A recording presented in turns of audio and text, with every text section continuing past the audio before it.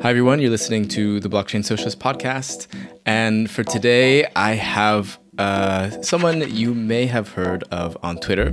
He goes by Chainleft. He is potentially my digital doppelganger, but we'll talk about that. Um, but he's been involved in some really interesting things over the past that I've, I've sort of seen him uh, get involved in uh, through Twitter and through uh, especially NFTs.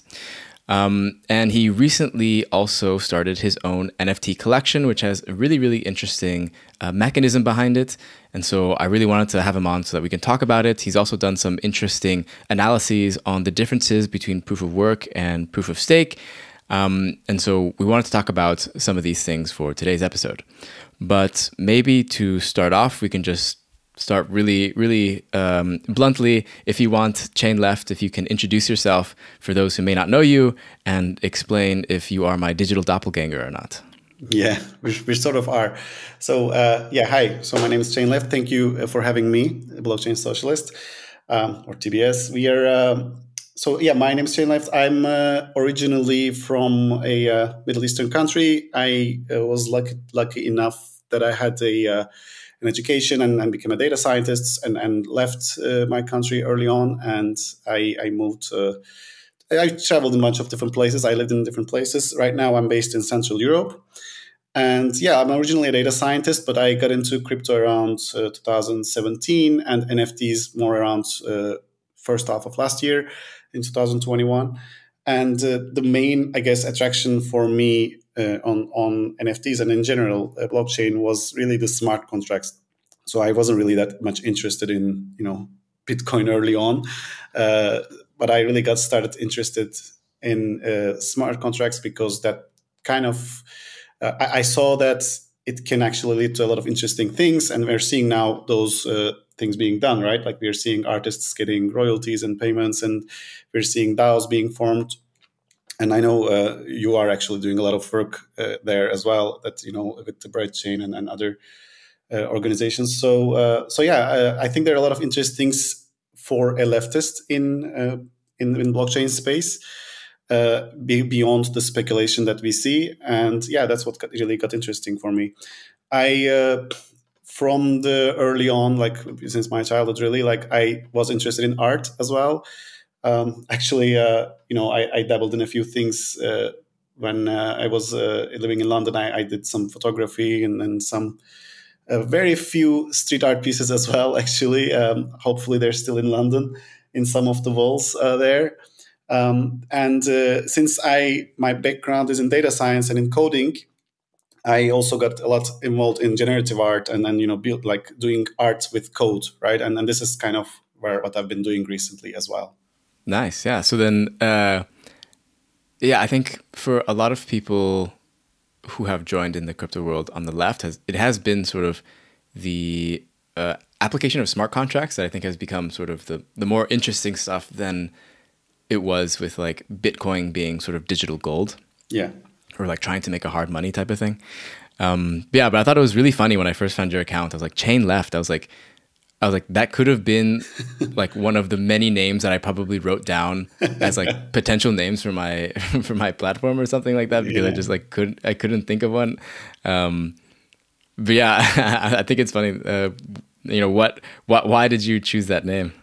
That's funny because um, I actually the original name of my account was I think blockchain leftist. I think uh, like uh, so this is obviously an alt account right? I, I, had a twitter account that i used for more political uh, let's say follows and, and, and, deep really deep into leftist uh, follows and, and uh, posting. I had it like you know much earlier on but i created this account specifically i think in 2021 early 2021 um, yeah so i actually picked the name blockchain leftist at the time. Leftists being more, I would say, I guess, trying to be a little inclusive. Uh, so you know, I know that in crypto space we see a, a more a right-leaning uh, crowd, right? I mean, uh, at least at least uh, originally. Uh, I think recently that's changing a lot. And uh, by calling it leftist, the idea was well, that's inclusionary, right? It can include anarchists, it can include you know Marxists, even tankies, you know. So the idea was like uh, you know be appeal to a bit of uh, a wider audience and make sure that you know I can actually highlight the these use cases between uh, that is inside crypto that appeals to left uh, leftist view. So that was the main reason. Uh, and then I thought blockchain leftist was too long, so I made it chain leftist, and then it, it kind of stuck to chain left eventually.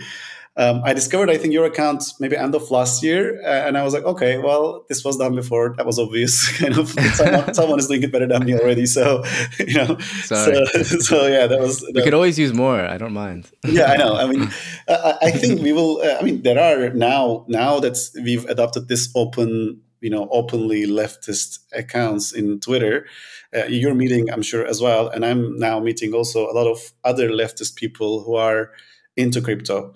So that's actually uh, they're actually like people are a lot of people are actually leftist, but they're kind of almost hiding because of the yeah. mass, like the you know general the expectation. Yeah right? I mean within the crypto it's from both sides. Like within crypto world you have all these like right leaning people who dislike leftists maybe and then you have leftists who really dislike crypto. So people are not really that vocal about their uh, their views essentially uh, so i think having these accounts is useful because you know people people are DMing me on, oh, I'm actually leftist as well. or, or some leftists are actually DMing and saying, oh, that sounds actually interesting, you know, even though they wouldn't write it publicly on Twitter. So that's, right. yeah, that's an interesting thing. Yeah, yeah, I've I've I've definitely had the the same experience where I think just yeah being open about sort of my stance has sort of helped other people uh, feel willing or able to um, profess their own political views that doesn't necessarily align with the rest of crypto or you know vice versa like you said. Yeah. Which has been really interesting to see. Um, i think part of i think part of that for us at least both of us being kind of pseudo anonymous kind of helps with uh, like being able to do that because I feel like I, I wouldn't have done it if I had put like my real my real face on it. Yeah, probably me neither. yeah, it would be more difficult. Yeah, but yeah, so I'm curious. Um, I imagine like you got into NFTs. I imagine because it sort of combined your two interests, both in data science and already having this interest in art and uh, having already uh, made street art in London, for example yeah, I mean, I, I wouldn't call like that. I did, I, I did like uh, three or something things that are actually that's more. That's that's more than me. Yeah. Yeah, um, but uh, yeah. Uh, so, I mean, you know, you don't have to be an artist to to to enjoy art, of course. But uh, uh, yeah, to me, to me, I think it really appealed to me that the NFT. If we're if we're specifically speaking about NFTs uh, I think to me it really appealed to me that artists were finally getting paid, right? Like that's that finally mm. stress on the finally part because uh, you know you see that there is not a really a lot of successful models for artists to really make money, um, mm. and you know we're seeing over and over a lot of cases in the over the past years, and that applies to all sorts of art, by the way, like music, visual arts, um, and I feel like this element of uh, ownership. I mean if we're living in the world where there is an ownership right? I mean this is there is a lot of debate about this right? I mean is, is that a good thing already? And there are lots of articles about it whether you know nft making things uh, more ownership focused is a good thing or a bad thing. And and and we can have these debates. I think it's a healthy debate. Um, but if we are living in a world of ownership and if we're not you know completely uh, you know toppling the capitalism i think it is fair for artists to have a livelihood based on this ownership structure. So um, mm. and there is there are lots of researches and studies on the fact that people do enjoy art when they actually own it. There is like actual study about it. So um, you know the cool thing about nfts is that and, and and this is actually a criticism of nft but i actually like that it's, it's, a feature in my opinion not a bug that anyone can right click save it right? So anyone can actually right. look at it and and enjoy it. But someone else who actually has the means and and uh, money they can actually pay for it and own it. And and they will have an additional sense of happiness with that payment. So everyone enjoys it, but the ownership provides value to artists and to collector as well. So I feel like it's almost like a triple win scenario with with this structure. Um, and again, like I'm saying, like in a world where there's no ownership, we wouldn't have this. But uh, when when there is this uh, already paradigm of ownership, I think that actually provides a really good, uh, almost uh, like a workaround.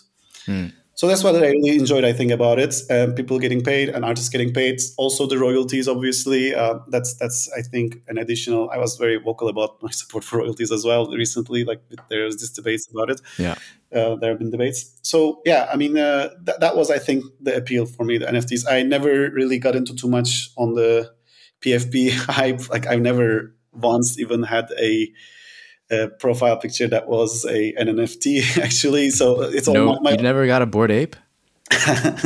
yeah, not no Bored Ape or. or you've never stolen a Bored Ape. yeah, never. Yeah, and uh, and not even like you know any other uh, you know PFP project. It's my own drawing, like uh, my my PFP. Uh, I I don't get that model to be honest. Uh, you know, the, mm. the, I know people talk about this community element and and I don't know some some people call like a startup kind of fundraising element, uh, but I I, I don't see it personally. Uh, to me, it mm. feels a little, you know, a, a, community purely driven by financial motive doesn't feel like a very robust community to me. Uh, to me, it should be based on a value. So, you know, there are a few projects like that that have both, like both financial motive and uh, some sort of specific value, like those women-led projects or or uh, environment-related projects. So so maybe maybe these will have better future long term. I don't know. Uh, but yeah, for me, it was more about art always. So I've been more focused on the art side of it. Nice, yeah. I think um, I think it's it, it has been just such a weird conversation, especially in the very beginning with NFTs. Um, just like I've mentioned this before, but like kind of like idiots on one side and idiots on the other saying like, you know, uh, this this is my picture, you can't copy it. You know, it's not yours. It's my property. It's my digital property because it's on the blockchain. And then other people saying like, haha, I stole your property because I, you know, right click saved it. You know, it's like the dumbest conversation. Yeah.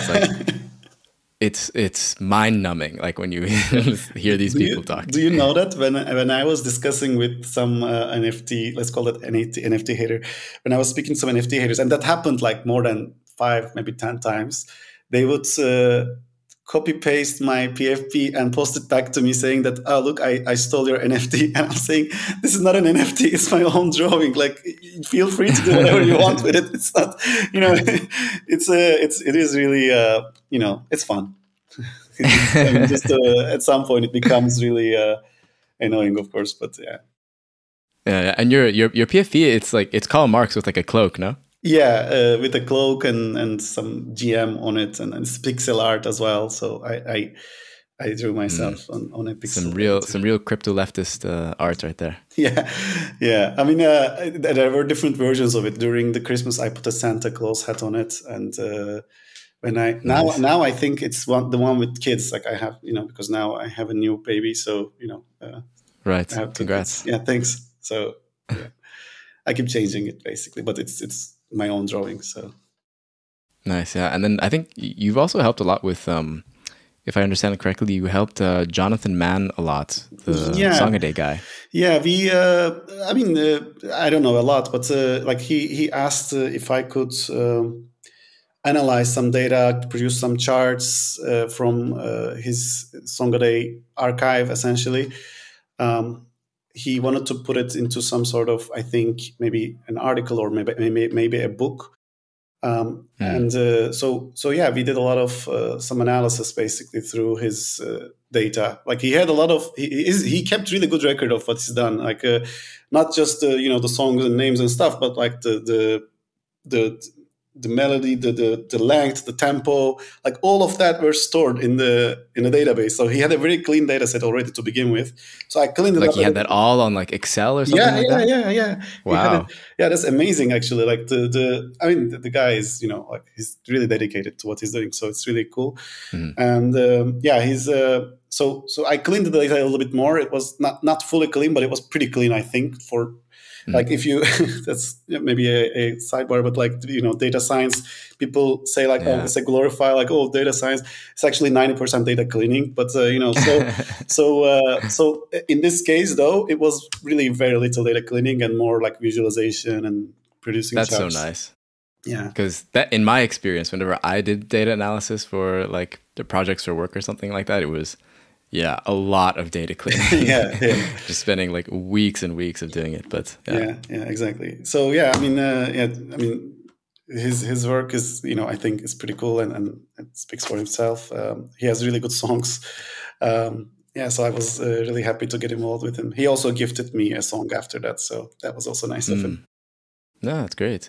Yeah, I think it's um it's always nice to hear whenever um I don't know people using their skills just for for like these types of efforts for outside of like a normal work context it's always nice to to be able to do that I, I i'd say for at least for me like i feel much better about using my skills for for something like this than i do of course when i'm like working for a corporation. I think yeah a course. lot of people can sort of uh, relate to that. Yeah definitely definitely. Yeah i i, I used data science uh, a few times like in in nft space. I used it for um, so I'm involved in this uh, a historical NFT community called Punicos, and and I created a database for them as well, like uh, scraping the, the the namecoin blockchain and producing the the categories for for for those assets and so on. So you know, so it's it's always good, like to to you know, I think use it in this context that something that you enjoy rather than something mm. like you know making someone else some corporation money. so yeah. yeah, of course. Um, and so now recently, I reached out um, originally because you had started a your own NFT project, which you called very um, very spicily uh, Art Ponzi. Yeah, yeah. in all caps, yeah. Art Ponzi. Um, and so I was wondering if maybe you can just explain to us um, what Art Ponzi is and how does it differ from most other NFT collections, since it does have a much different mechanism than like you know, for example, people think of NFTs with like 10,000 profile picture types of collections or like yeah. it's it's it's a bit it's quite different than that. Yeah. So this is more uh, like a almost like a passion project that is supposed to fund what I want to do next to be honest. So um, hmm. uh, Art Art Ponzi is uh, uh, and and I, I, really I'm really enjoying this actually doing this collection. I'm doing something every week, well at least trying to do every week. Maybe it might go longer for some cases. Uh, so the difference with Art Ponzi of Art Ponzi from other collections is that first of all, it's not a generative collection. It's a it's you know each work is a manual uh, production. So so I do each piece myself without any you know generation or anything like that. I do use coding, but I'll come to that.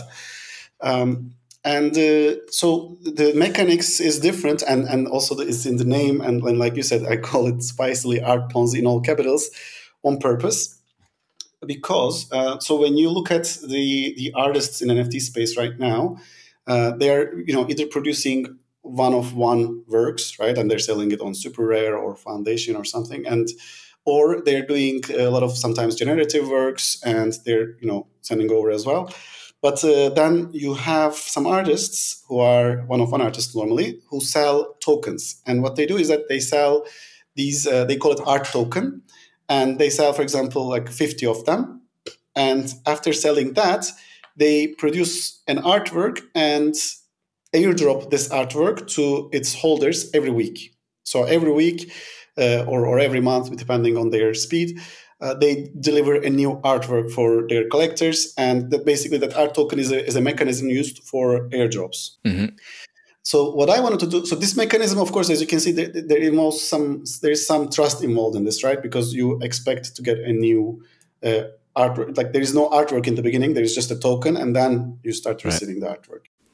It's like a right. It's kind of a promise to a future artwork that yeah. will be given to you. Yeah, exactly.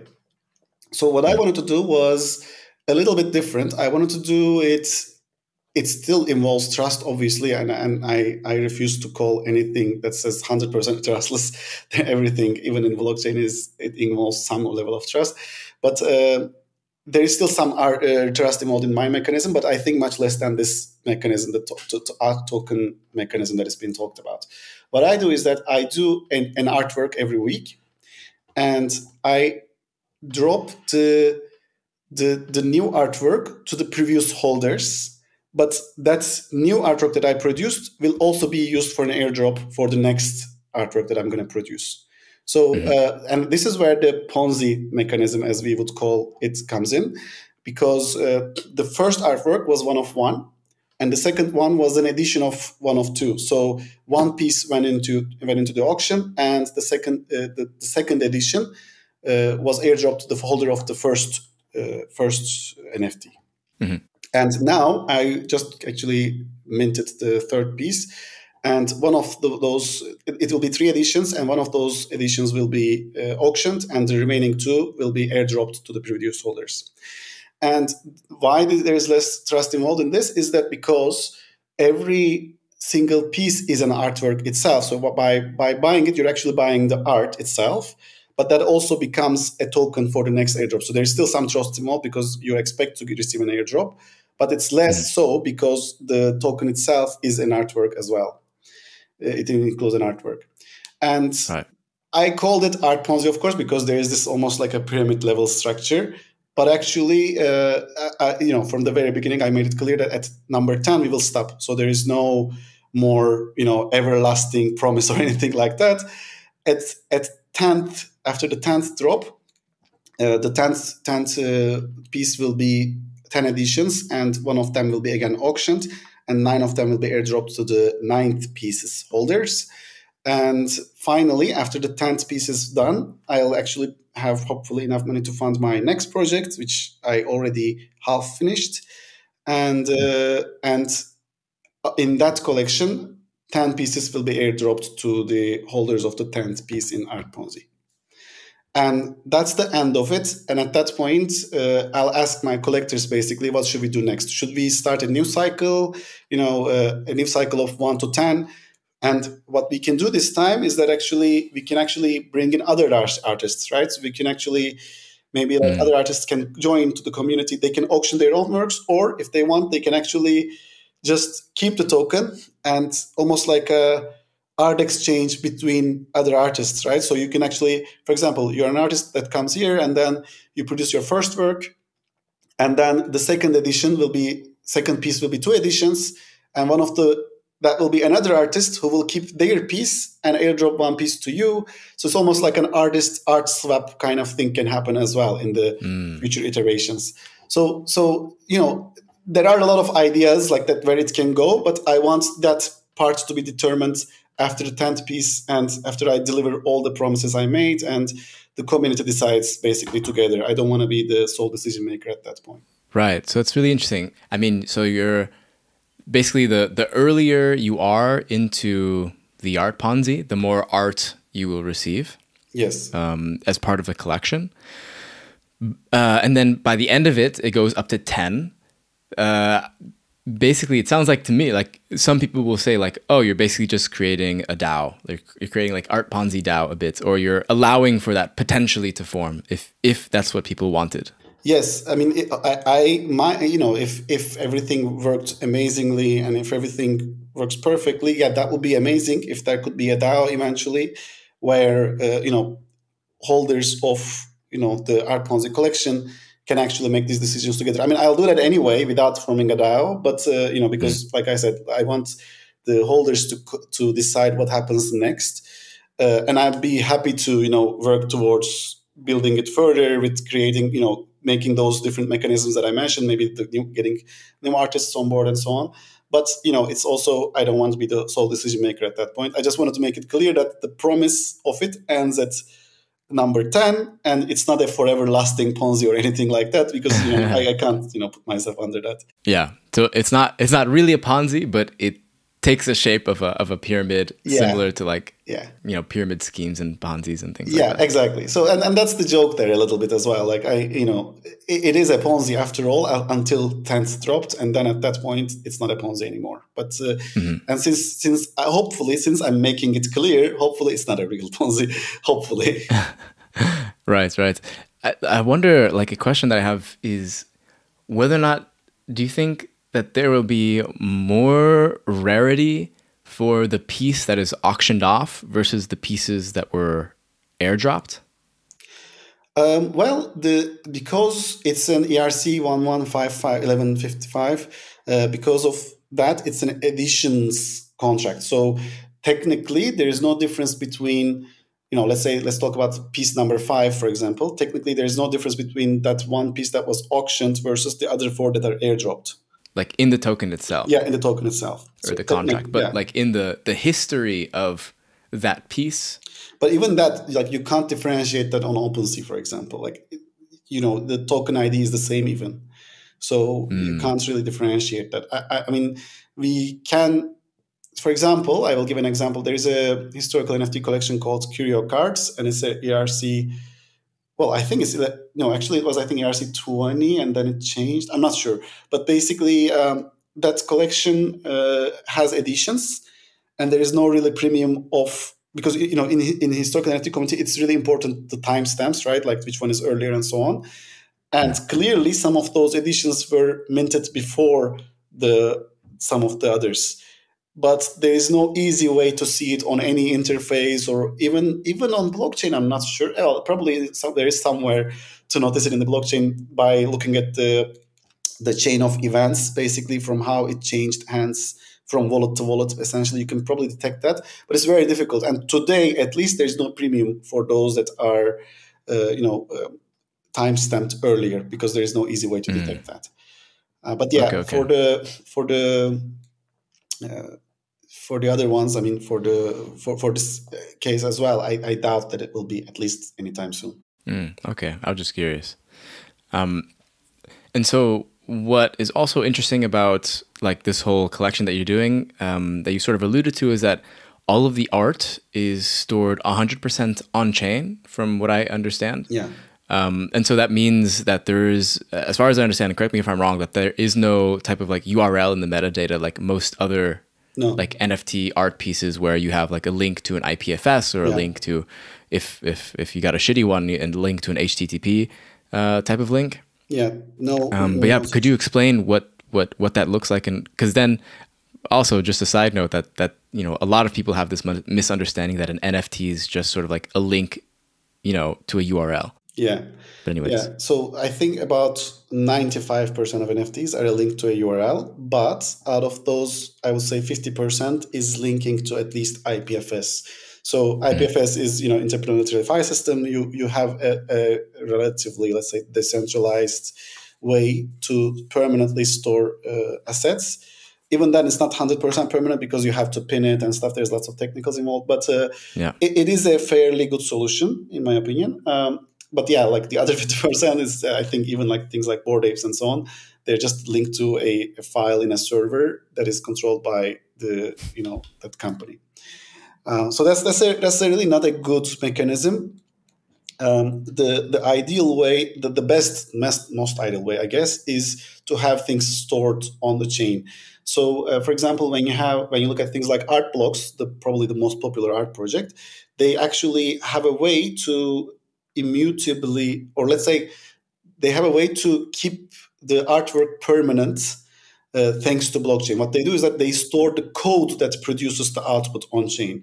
So they use, mm. for example, like if you're using uh, J, like JavaScript or processing some sort of you know those generative uh, art languages, if you're using those, uh, they store them on the blockchain so that if something happens to the file that is actually stored in the server, because if you look at the blockchain, Art Blocks, artworks are actually stored on Art Blocks' own website, but they at least also store the code.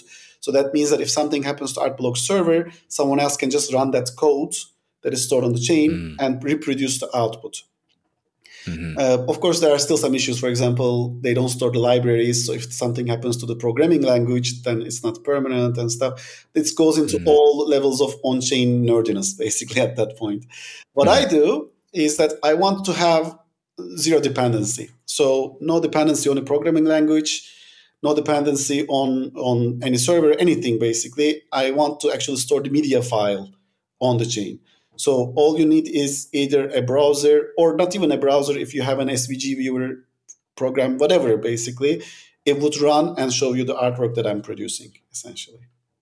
So that's the difference mm. between, um, I guess, on-chain artworks and uh, you know off chain. There are different levels of dependencies, and I think mine is probably the the the, the most uh, permanent or most immutable version. There are a few of those projects, by the way, that does this uh, as as immutable and as mine. So I'm not the first for sure.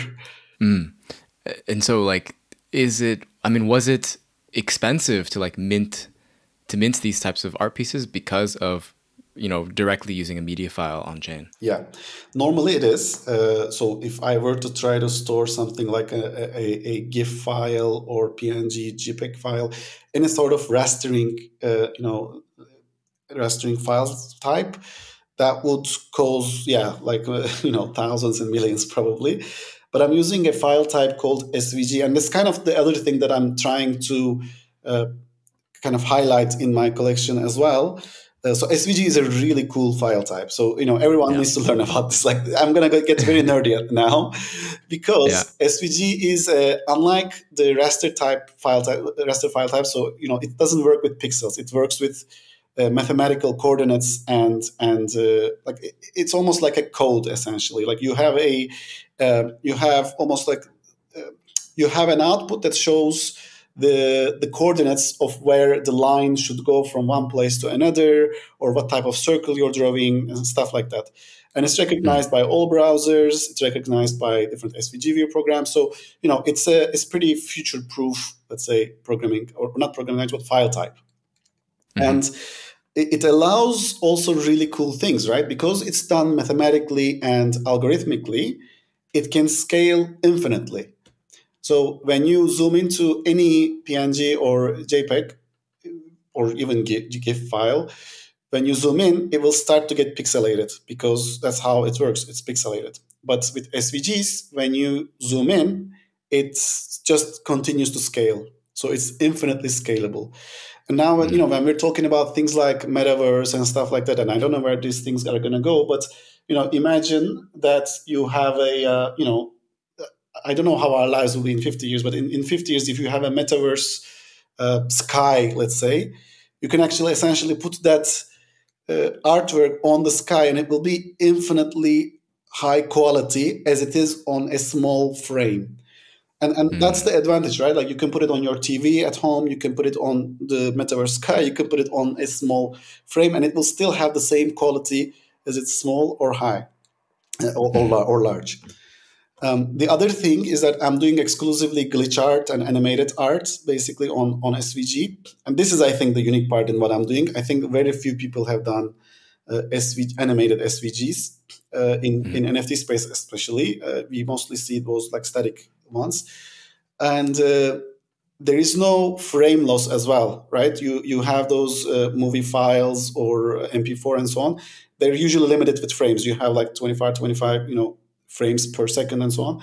This one is infinite again. So if you actually slow it down or, or do anything like that, it will have the infinite frame between one frame and another. Does that make sense? Mm, right.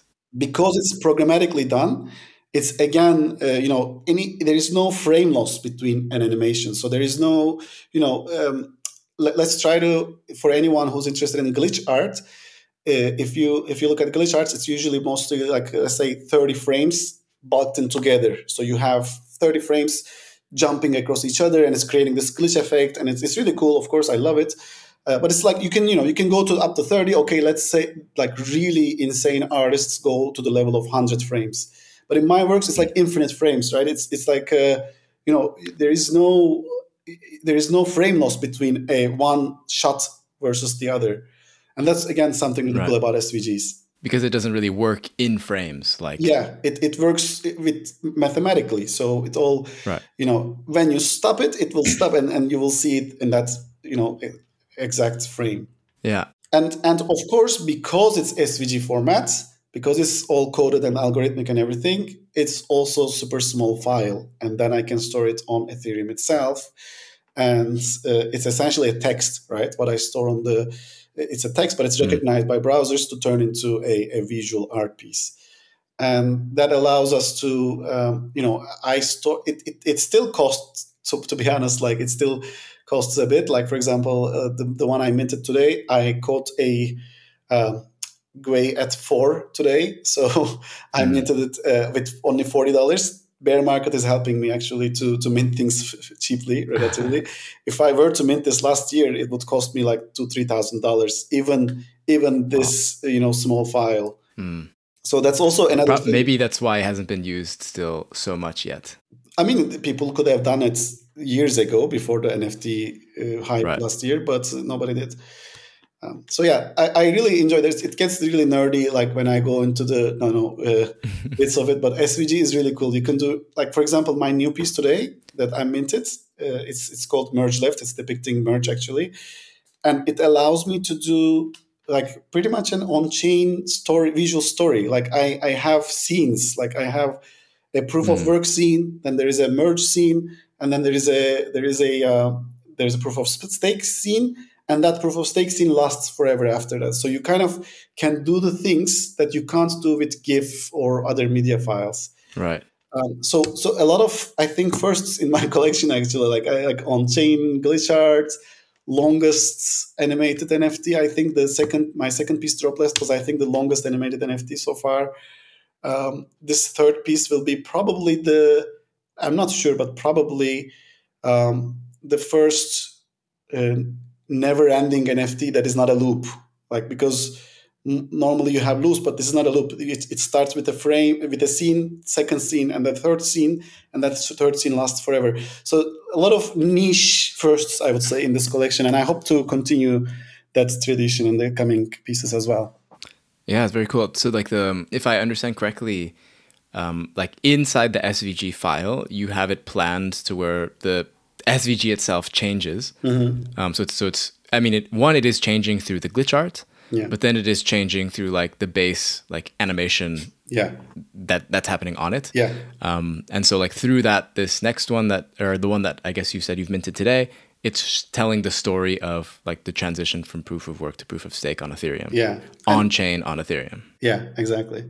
And it's it's cool because like you know you you ha- the piece starts with proof of work and then there is a merge and then proof of stake, but then it always stays proof of stake. So it's not like you know you you have three seconds to see that proof of work, and from that onward you won't be able to see it, and then it will always be proof of stake after that mm. point. But I guess you could just take the SVG code that you have in the contract yeah. and replay that if you wanted to yeah yeah yeah you can do that of course yeah. Right. But as far as like on chain what is it right now is different. Yeah.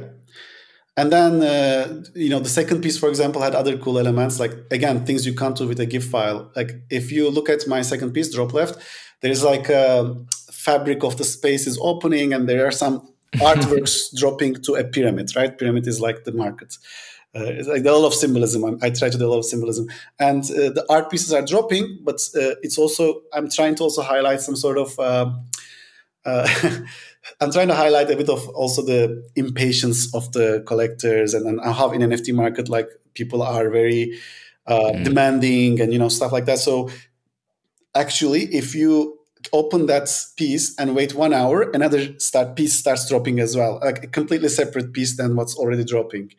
And then if you wait another few hours, there will be another piece that's drawing. And it's, it's, you can only see it if you keep that tab open on your browser for like a few hours. Like you don't otherwise see that piece. And probably like, you know, 0, 0.1 per 0.001% of collectors will be interested in this kind of nerdiness. But I like those Easter eggs, like putting those into the into those mm-hmm. who like seeing it. Yeah, yeah, it's funny. Yeah.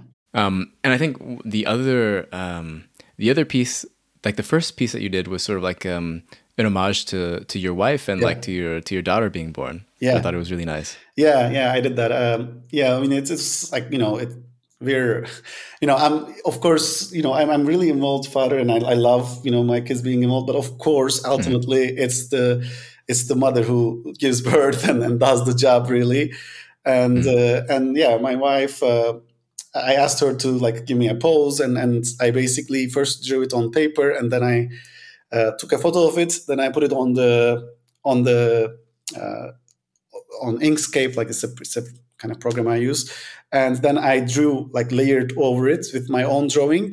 Uh, on digital drawing, I mean, and then uh, then I made it. It turned it into a glitch art, and yeah, like I, I mean, yeah, my my wife is a good model. She's, uh, I mean, not a model officially, but uh, you know, so uh, yeah, that was that was really nice. I also like put nice stuff there as well. Like for example, her heart beats like I think uh, so the baby's heart beats faster than the mother's heart in that piece so you know because yeah. the babies have faster heart like lots of uh, you know I, I, my wife really loved it i always also consulted her like for example the colors are her favorite colors in that piece uh, mm. i didn't you know publicly say this before but yeah it's kind of right. lots of things that i did together with her wow you got your um yeah great husband great husband hope, hope uh, others are listening to that well, yeah.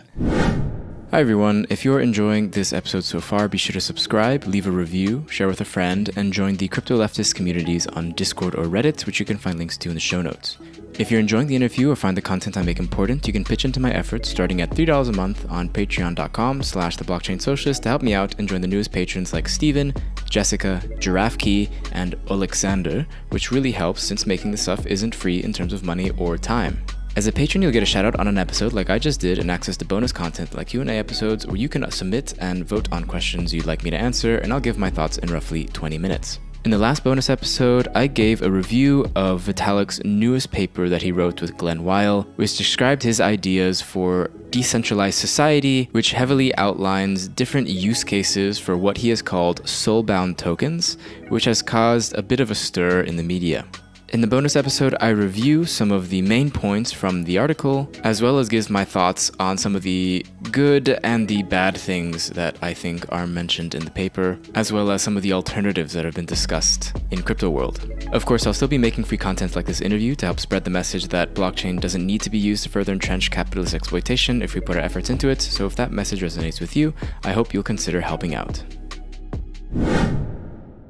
Um, so yeah, I think it's a it's a really interesting um, NFT collection. I'm not one like I'm not usually into like NFT art as I've, as I've said before. I just tend to be I'm I'm more interested in sort of like the people who are doing things really really differently, mm-hmm. which is why I, I was interested in, for example, Jonathan Mann's collection and then and then yours as well. And it's also like I don't know maybe maybe it's not uh, not coincidental that it also tends to be people who are um, more left leaning or yeah. you know who are more interesting. yeah, hopefully. Uh, yeah, I mean, I'm talking to a few other leftists for some joint projects actually, um, and yeah, they're really creative. Let's say, I can say that. I mean, for now, there is nothing materialized, but hopefully, we'll do some stuff together. Nice. And do you think like if if this goes really well, you'll uh, quit your normal data science job and be a NFT artist? I don't know. Slash I mean, NFT data scientist. yeah, I mean, NF, NFT space is so speculative, at least for now.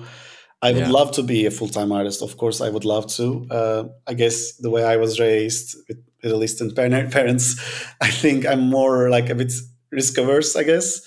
Um, sure. Yeah. So I don't fully plan on quitting, but uh, who knows? Uh, I mean, I would love to like just if it's just up to my desires, yes. But you know, having two kids and stuff, I also want, I also seek stability. So yeah, yeah, that makes sense. Yeah. Um, so the other thing that we wanted to talk about is um, the really interesting analysis that you did uh, using your data science skills. I think you released it maybe last year or so. Yeah. Where you compared sort of like the potential inequalities that are created through proof of work versus proof of stake. So this is sort of like you're sort of taking on the critique, especially from Bitcoiners and from and from just crypto critics in general as well, that proof of stake is sort of like this rich get richer scheme and that it, it, it exacerbates inequality um, more than proof of work. Um, and so like you took that on and sort of did your own data science analysis. So I was wondering if you can maybe like walk us through the, the methodology of your study that was sort of mm. simulating these things. Yeah. So, uh, you know, the obvious upside of having proof of stake, of course, is environmental impact, right? Like we will have a much yeah. cleaner, uh, you know, an environment friendly sybil protection mechanism finally. Um, and uh, the criticism that usually comes from the proof of work camp or people who are more leaning towards that is that uh, you know proof of work is like you know you actually do a work to get things and proof of stake is just you know you stake your money and then you basically have the you know it, it really kind of it, it's an interest rate almost. So you don't really, you know, do anything. It's a rich gets richer scheme. Um, right. So th- this felt odd to me because you know people who actually buy those mining rigs are also doing an investment, and it's not like they're actually doing any work. It's that they're setting up a machine and and that's actually how the you know proof of work mechanisms work mechanism works right like you actually uh, you know it solves the computation like you're not doing the mathematical computation yourself it's the machine that's doing it and you basically invest mm-hmm. in it actually a lot of times people don't even buy the mining rig they they actually put money into those mining business operators so you know you have your AntPool you have a foundry you know they basically put money into those uh, operations that actually return them the money. So there is it's really the mechanism or uh, is pretty similar to proof of stake to be honest with you for for a mass majority of the retail space.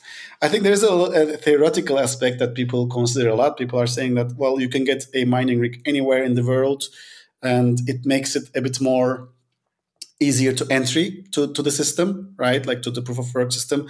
You don't have to own the coin like the, the of the native blockchain native coin of the blockchain to actually uh, you know to to earn something from it. Uh, mm. so so there are some i think there is something to their criticism. So I, I, I acknowledge that.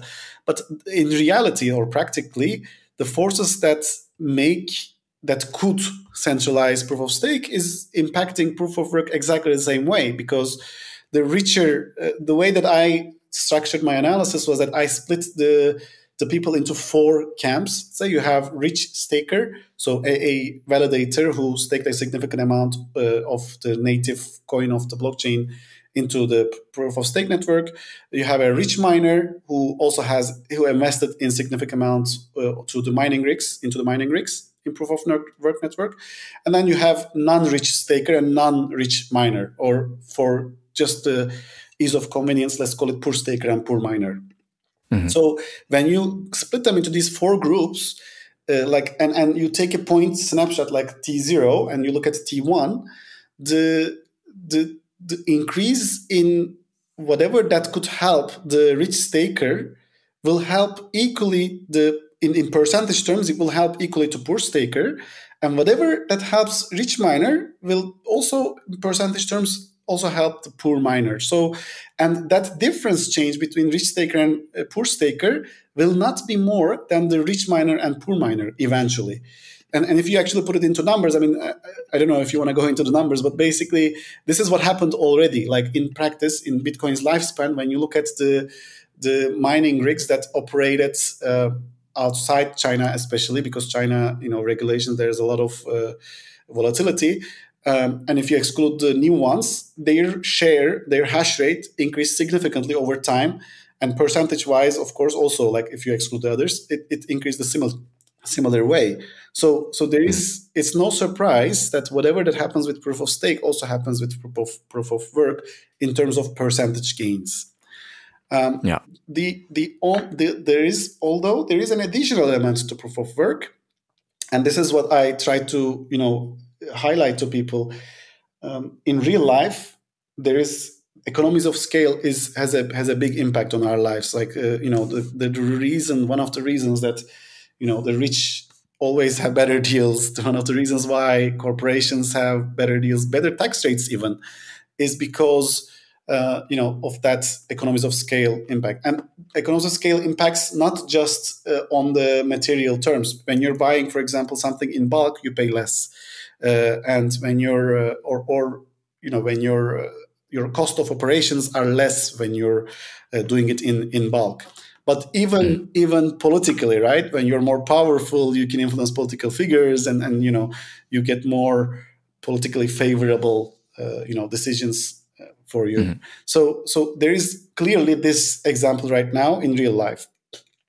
in uh, so in proof of work, we are seeing this happening. Like I, I literally looked at Alibaba, and you can see there, like there are offers for like uh, I don't remember if it was the kilowatts or whatever, but basically between different uh, hash rates you get, or between different sizes of the mining equipments, you have different prices. Like literally, it's right, right there. Like uh, you can see the economy of scale in impacting proof of work network directly. You know when you're buying it, and this is like what is publicly available. Imagine the level of uh, impact that economies of scale has when it's an OTC deal, like uh, on the counter. You know, it's it's even even I think exponentially cheaper for uh, bulk yeah. deals. If you have a ton of money, basically you can buy a ton of mining rigs for yeah, just uh, like at a huge discount that you can't get in proof of stake. Yeah. So in proof of stake, you have because it's a at least not right now, right? It's a digital realm right now, and uh, it's in the protocol that every stake gets the same percentage of uh, the amount of the like the the, mm. the, staking rewards. So so you don't have any difference between a, a poor staker or rich staker, other than the fact that they have operation costs, and clearly those operations costs they also require, of course, things like you know computers and and and uh, like just for the validation. It's it's a fraction of what it is in proof of work, but there is some. Yeah. And in that operation cost, still the rich ones have an advantage. But the yeah. actual staking reward, there is no difference. And it's because of that, like because it's the same price when you, as a rich staker, want to buy the native currency of the chain, or you're a poor uh, staker that you want to buy the native currency of the chain, it's the same price for you. So it's actually, you know, not going to make any difference. Mm-hmm. Someone on Twitter made a point that, you know, what if someone wants to buy OTC, OTC native currency. So what if what if you want to buy on the counter ETH or a really sizable amount from some exchange, for example? Wouldn't they sell you cheaper? I've never seen an example of it. Uh, that that is a, is a good question though. Like it it might happen. So there might still be some elements of I think uh, you know a, a whale having a better deal than a uh, a, a, poorer uh, you know staker. Yeah uh, and and that's you know I think we were DMing with you like there is an element of uh, you know capitalism getting involved here again, but I would argue that it's much less than proof of work. Right. Yeah. I I, I can also imagine that Coinbase wants to uh, needs to make money fast, and it would just be easier for them to make one large transaction to this whale, but also partially the whale wants to not drive up the prices if they're wanting to make a really big purchase, which is why they do it over the counter rather sure. than like through the market. Yeah. So it's also them as a way to get around the increasing costs that they would normally have to incur.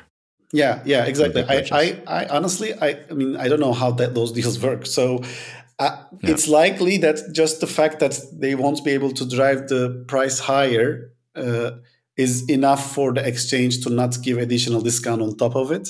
So it's actually like the whale has a, is at a disadvantage at the T zero, but uh, maybe you know uh, because that they're doing the OTC deal, maybe the exchange will actually not give it cheaper, but just the same price. Because if it would mm-hmm. be in the open market, it would be more expensive for the whale. So so I don't know. Uh, I can't really speculate on that part, but uh, yeah, there, I think even if there is, this is probably a much smaller case than it in the case of proof of work. Right. Yeah. I, I would imagine that. I mean, yeah, like we were talking about earlier, um, like it's it's sort it's it's the physical aspects of proof of work that actually make it more unequal to a certain degree. Yeah.